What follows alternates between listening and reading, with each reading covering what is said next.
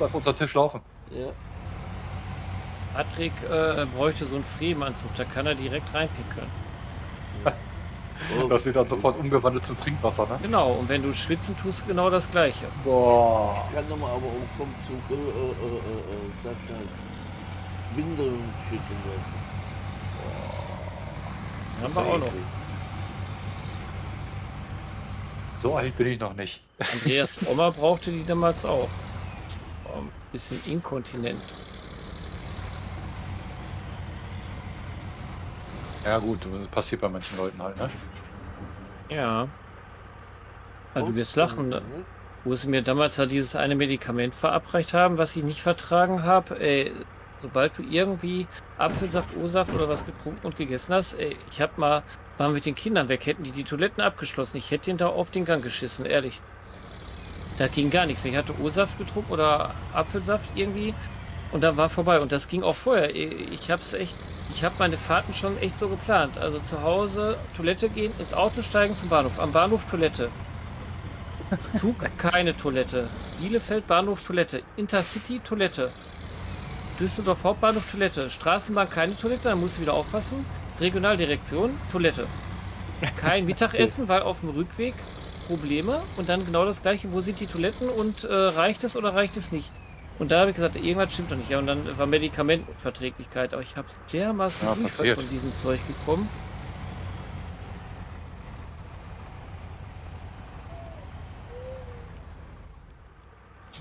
Wo steht er denn? Ja, vor dir.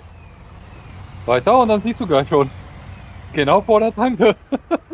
Ah, das sieht aus, als ob du hinten eine Fracht verloren hättest bei mir. Nö, nö, ist nicht. Die hängt daneben. Mhm.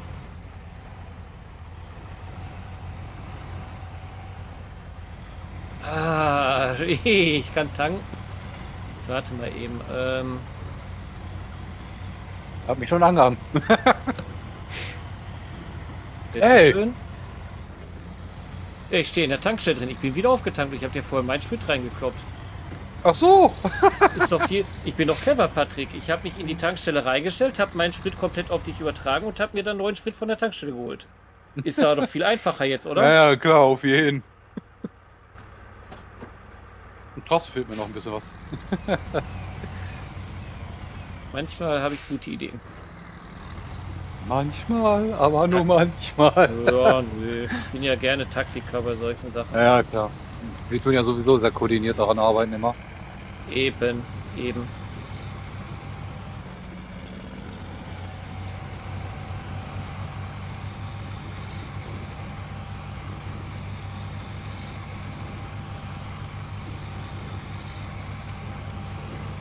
Mal gucken, ob der Sprit reicht bis zur Wetterstation. Ich hoffe mal. Ich hoffe mal, dass ich hier überall durchkomme. Du solltest, glaube ich, kein Problem haben.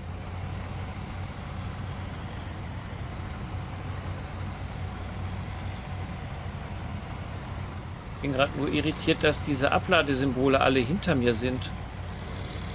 Ah ne, das war die, Mhm. sind die Aufladesymbole. gerade, genau. Dann ist gut.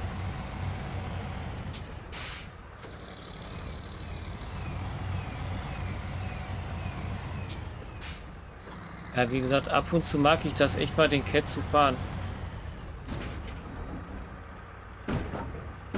Mal was anderes. So, hier geht's jetzt irgendwo rein, ne? In die Walachei.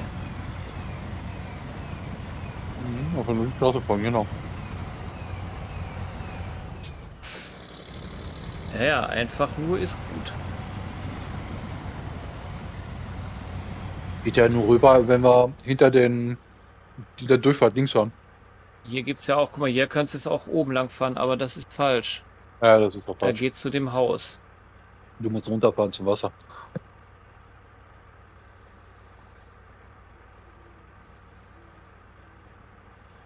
Also ich habe jetzt schon fast wieder 40 Liter verballert, ne? Ja. Er hat einen hohen Durst. Ist ein geiles Auto, aber Mhm. ich sag ja, ich habe mir letztes Mal beim Kran habe ich gesagt, am besten noch einen Tankwagen dahinter hängen. Ja. Kannst du jetzt natürlich nicht machen, aber Mhm. äh, oh, hier muss er eigentlich auch. Das war jetzt ganz schön riskant, was ich mit dem gemacht habe. Einfach ungebremst über so eine Brücke fahren, wo der ja so gerne mal links und rechts ausbricht. Äh, warte mal, oben oder unten? Unten. Nee, gar nicht wahr, äh? Ah, Moment, das war die kaputte Brücke, da Ersatzteile. Oh, wir haben hier noch eine Brücke gar nicht repariert, siehst du das? Ja, aber da fährt er normalerweise nicht drüber. Nee. Aber die Ersatzteile sind für was anderes. Ja, ich weiß, die muss man da bergen. Die Brücke ist nämlich total kaputt.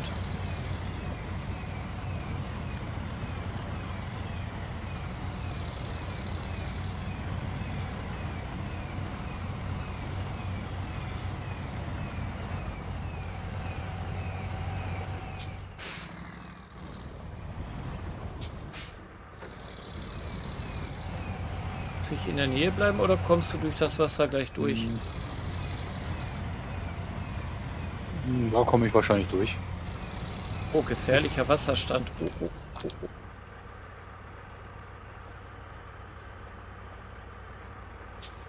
Ja, jetzt habe ich Nervennahrung erstmal gebraucht. Meine äh, Weingummitüte ist schon wieder leer. Ah, ja, ich muss mir auch mal was holen. So, mit Allradantrieb und Differentialsperre und Lastengang ging es jetzt weiter geradeaus, ne? Meine ich, ja. Ja, geradeaus. Was ist Money? Äh, ich die vier Planken hatte, eh, Holzplanken. Ja. Die tiefsten Wälder bin ich reingefahren. Oh, hattest du eine Schienenfabrikate mehr? Keine Ahnung. Eine Schienenfabrik hätten normalerweise doch welche da sein müssen. Wir hatten da so viele dahin geliefert. Jetzt raus. Ja, okay. Sind zwar Häuser für drauf hier, aber egal. Ist ja egal. Dafür sind sie ja. Und den Rest können wir später über Produktion ja eher beliebig nachorganisieren. Es ist ja, Planken sind ja unendlich machbar hier.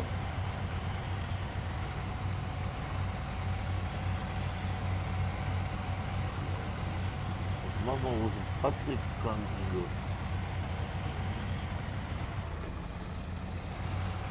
Mich machst du Planken? Ja, Das sind fettige Planken, die willst du nicht. Was meinst du, Patrick, geradeaus durchfahren oder lieber oben über die Holzstation? Geradeaus war Mm. ziemlich riskant. Ich glaube, außenrum ist einfacher, ne? Fahr rechts. Fahr Ja. auch über die Holzstation über den Weg. Ich glaube auch. Der, ich wei- meine, der hier unten da hatte mich mit Zucker einmal so ganz übel festgefahren. Da kommt man so Mhm. schlecht hoch.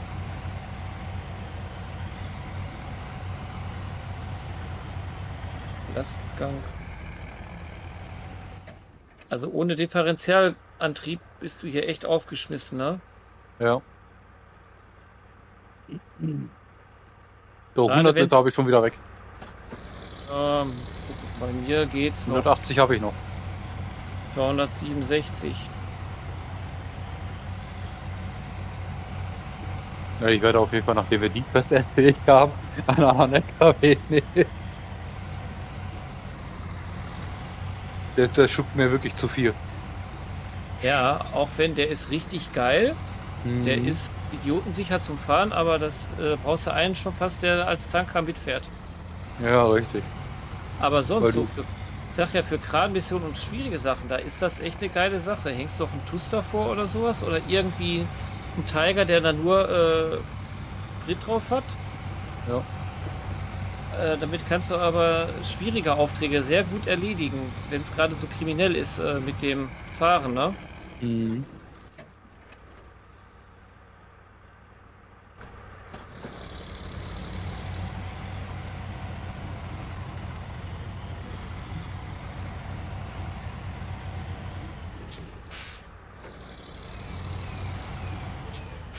Hätte ich die Planken wahrscheinlich auch bekommen. Äh, ich fahre geradeaus weiter und fahre dann hinten quer zur. Äh, Ja. Sieht mir nach dem besseren Weg aus. Als machen wir nicht den großen Umweg. Also hier geradeaus ist ja einfacher.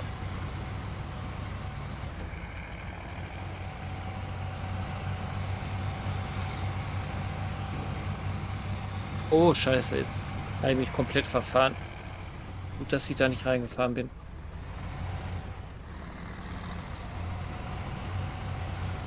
ich denn auf die Idee, da lang zu fahren?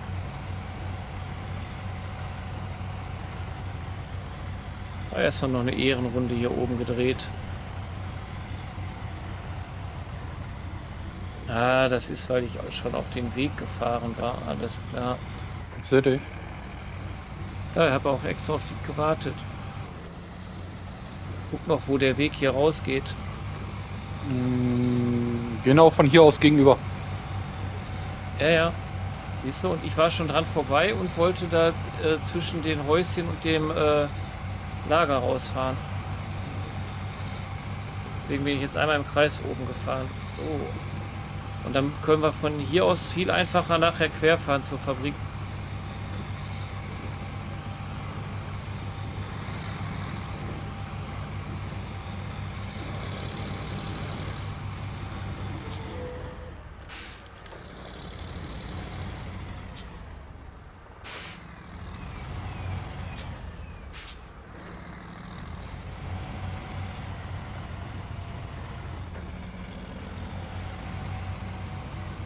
Aber wenn es so ein bisschen schräg aufwärts geht, dann musst du mal kurz auf äh, Lastengang bei dem Auto hier stellen, damit das Differential greift.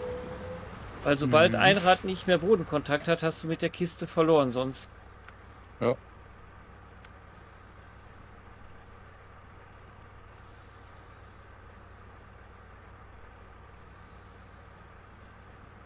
Alter, ich werde mir wahrscheinlich gleich einen Tank auch holen können, weil wir haben da unterwegs kein Tankmobil mehr, ne? Glaub nicht. Ich habe nämlich nur noch 112 Liter. Oha.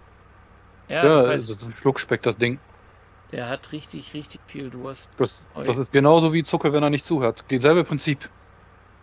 Der Ja, Wagen hört nicht zu, der soll sparsam fahren. Ja, ich habe ja gesagt, der hat einen Wahnsinnsverbrauch. Mhm.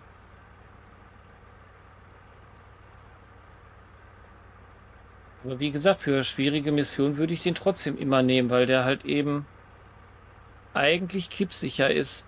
Ja, klar, eben.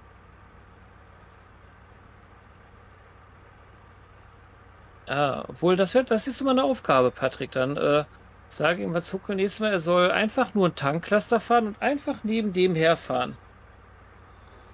Und die ganze Zeit betanken, wenn er er es braucht.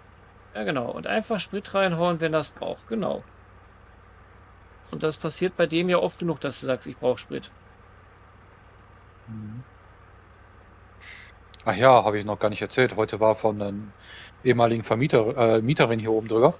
Ähm, die Tochter dann da und mit den riesengroßen Container, ne? Ach, die dann äh, verstorben Die Wohnung ne? leer geräumt. Ja, genau, die ja, verstorben war. Wohnungsauflösung, ja.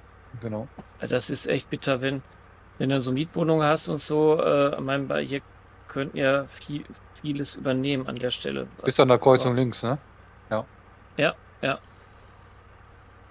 Aber habe ich bei meiner Oma gesehen, du hast fast die ganze Wohnungseinrichtung raus und alles weg, ne? Ja, richtig.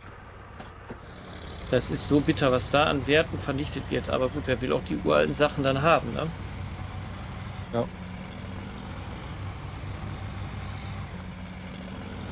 Vor allem die uralt backen Sachen, ne? Ja, richtig.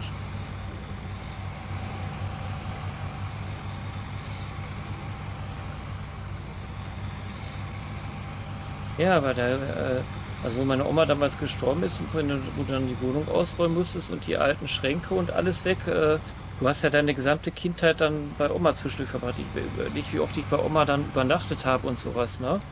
Und du hast ja da auch gespielt. Du hast einen Teil deines Lebens eigentlich weggespielt damit. Klar, dass die Wohnung kannst du auch nicht behalten, aus sentimentalen. Gründen, aber das ist schon echt bitter.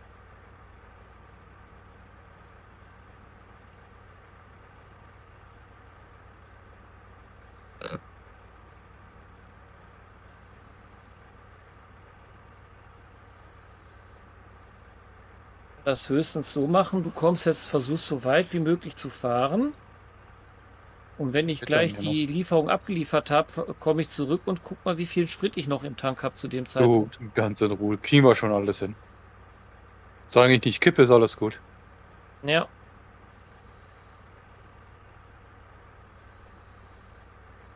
Ist das mein Mitbewohner mit der lauten Musik oder kommt das von oben? Oder ist das ein Nachbar von draußen? Weil ich höre die Musik gerade nur, weil ich die Kopfhörer aufhabe. Wer setzt sich die Kopfhörer ab, höre ich sie gar nicht. Okay. Also ne, die Mickey Mäuse schallen halt gut ab. Ne? Da kommen manche Töne kommen ja von Ja.